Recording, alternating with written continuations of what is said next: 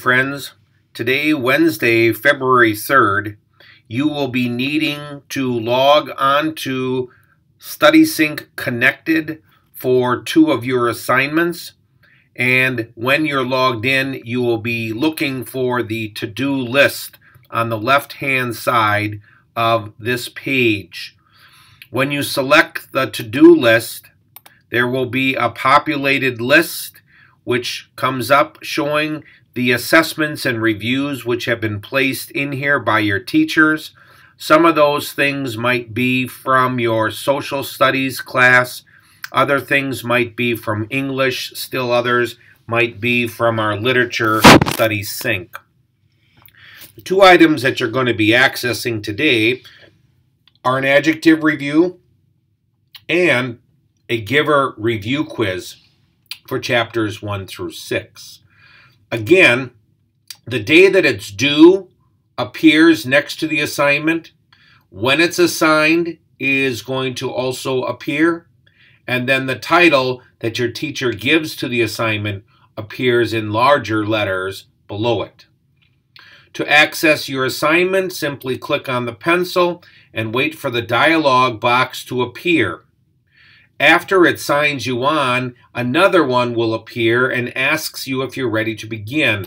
And this is important that you are ready to begin because on some of the assignments that are given to you, there is a countdown clock. And so being ready to log in will help you to maximize the time that you have to spend on the particular assignment.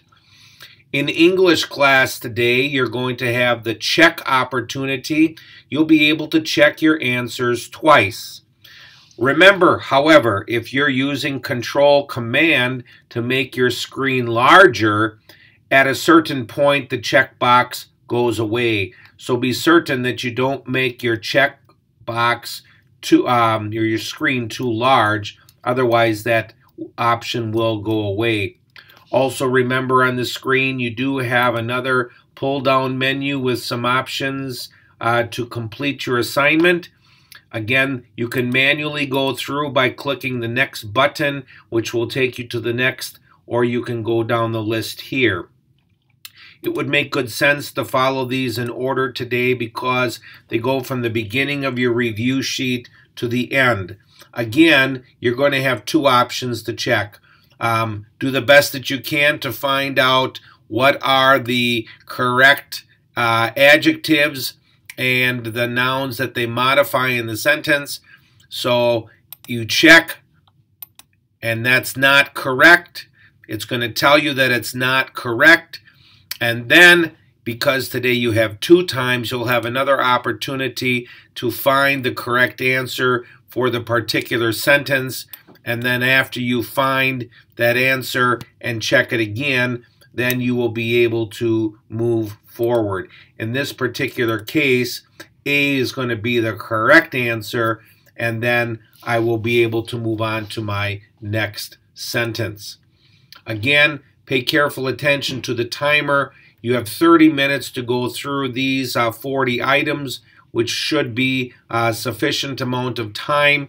Again, remember to check your items, and when you finish, there will be a summary of the work that you have done.